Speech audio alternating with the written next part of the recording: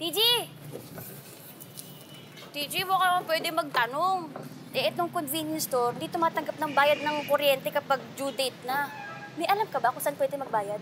Mukha ba akong nagbabayad ng kuryente? Hello? Naka-auto-debit na sa card ko.